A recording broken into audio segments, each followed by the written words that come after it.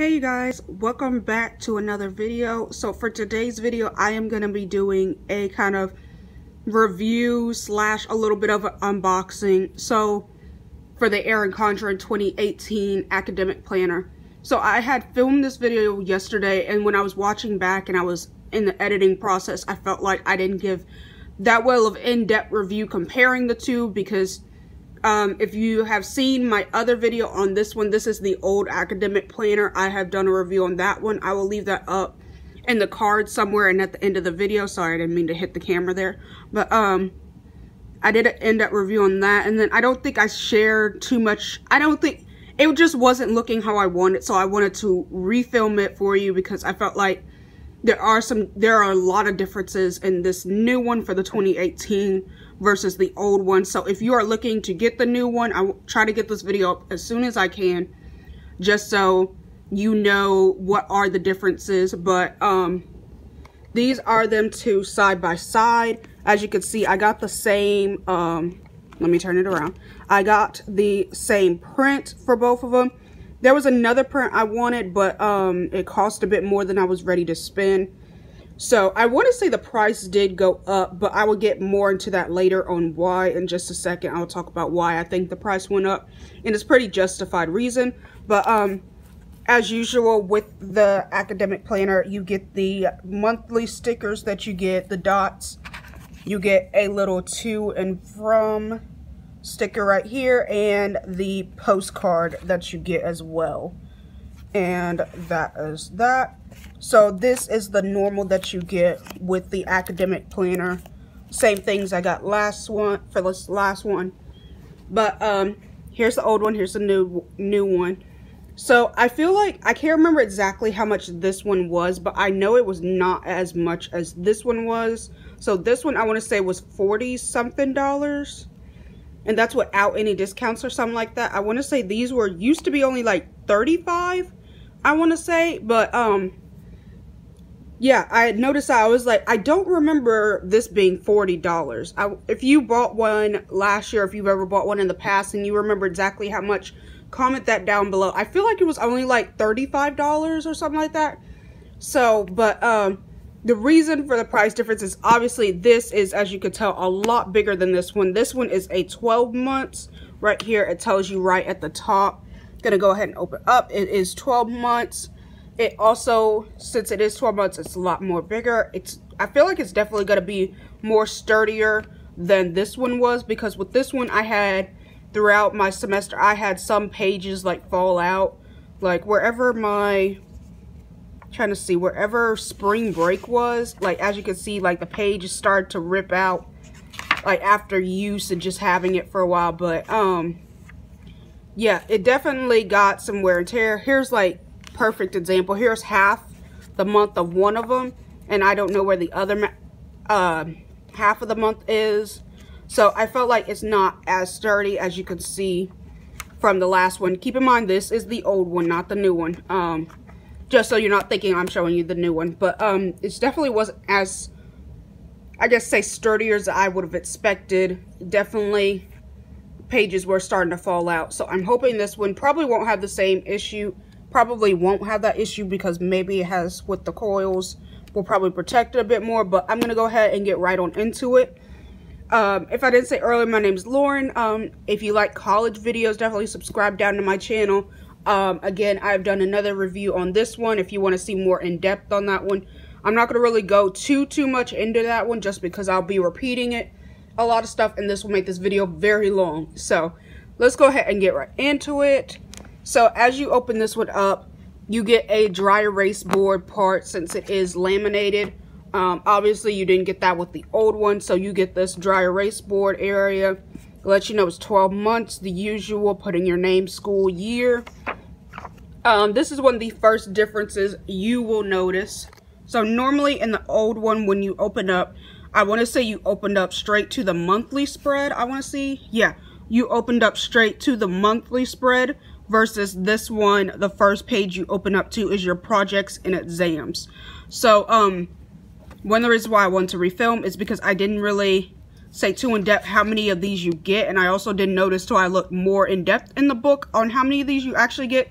So your projects and exams are going to be right in the front of the book. And this is all you have for the whole planner. So you have that side, that side, this one.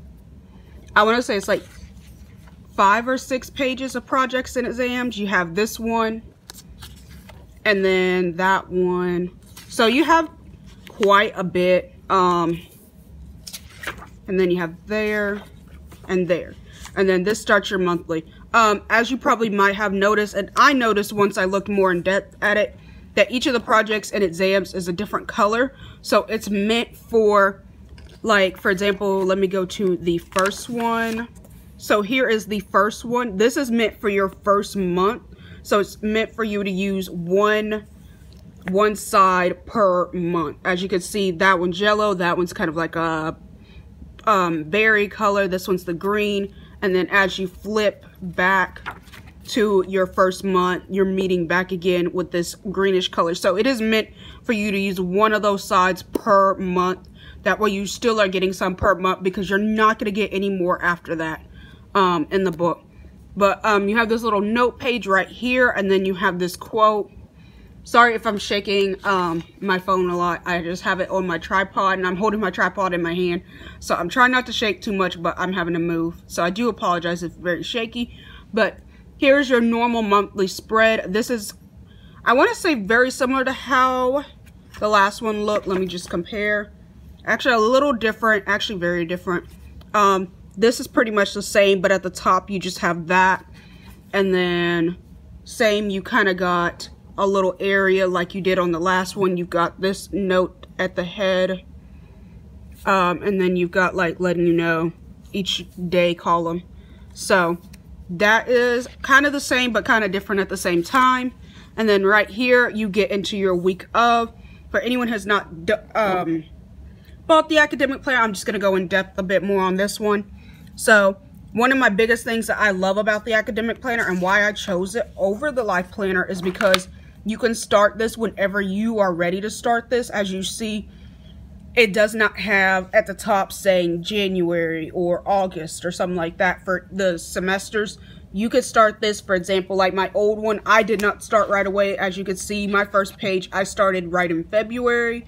So that was one of my pluses was because I didn't want to get this and then I didn't start right away. So you could start whenever you're ready. You just label it right here and whatever day of the week because as you see week of it's got it empty and then it just starts off Monday, Tuesday. So right here is normally where you will put the day and then you put the class, homework, and then you put what time it is due.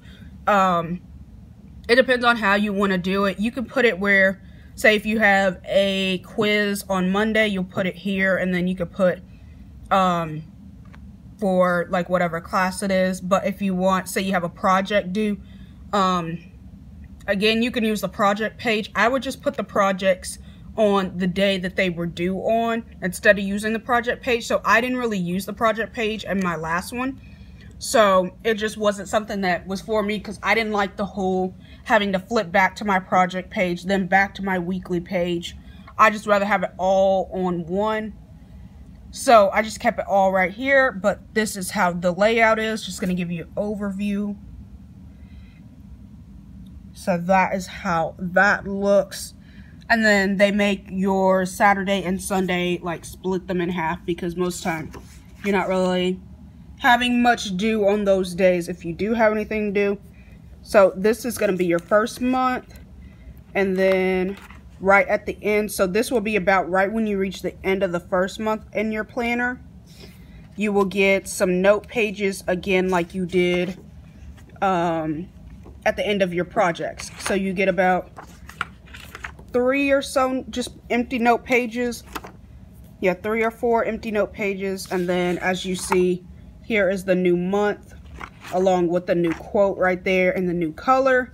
Also, another thing I want to note that I noticed yesterday after I got done filming, um, your colors on, um, what's the word I'm looking for? Your colors for your sticker numbers for the month go along with the color that is with that month. So that dark green goes along with this one just so for coordination wise, but I did notice that, and I don't think I said that when I was filming last, but I noticed that.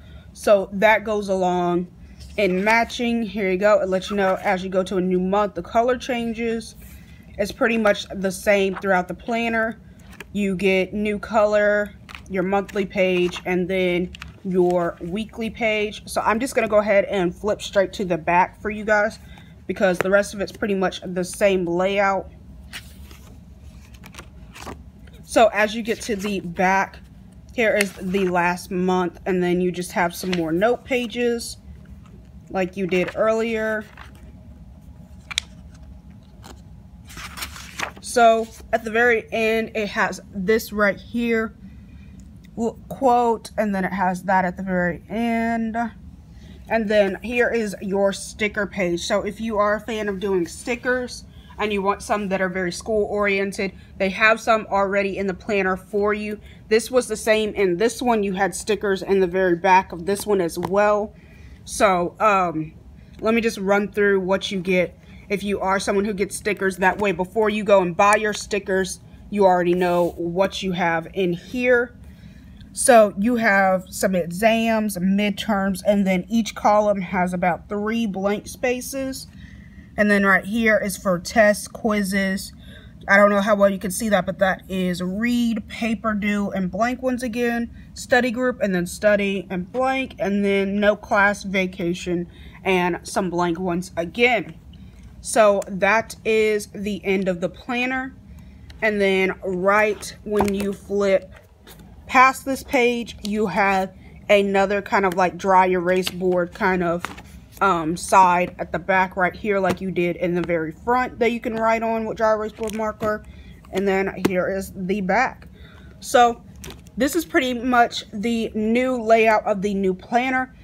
I overall like it. I don't really have any complaints with it. So, um, yeah, that is pretty much the new layout. And then I'm just going to open up the old one just to give you guys an idea of what it looked like. Um, this is what I used last semester.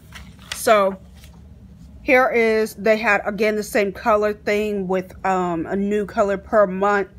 Here's me putting the no class. Sometimes I would use the stickers, sometimes I wouldn't. Honestly, I still have quite a bit of my stickers from the last semester since obviously, as you can see, I didn't really use them every single month. But um, here is the projects and exam page. Again, I said I was not a fan of it just because it's not how I like to organize myself. But this is what the projects and exam page used to look like in the old one. And you would get these per month. So this is how it used to look like. This was the layout for the last one. And then you will go on to next month. Again, you start off just putting it in there and then just to give you an overview of what it looked like in the old one just for comparison. And like I said um, you actually got quite a bit of note pages. It's probably about the same amount of note pages that you got you get in this new one. It's just all of your note pages are in the back. So this is all notes right here versus instead of having them spread out throughout the months like in the new one you have them all in the back um, note pages can be great It's all depends on if you use it if it's for you. And then like I said you got the sticker page again. So yeah. I just wanted to show y'all that real quick just so you have an idea of what I'm talking about how it looks a little different. Um, I hope you guys enjoyed this video. I hope it was helpful. I hope this let you know if you were going to buy one or not. Um, comment down below if you already have one, how you're liking it, um, and whatnot. But I hope you guys enjoyed this video. I apologize if I was very shaky in um, filming this, but yeah, I will see you guys in the next video, and bye.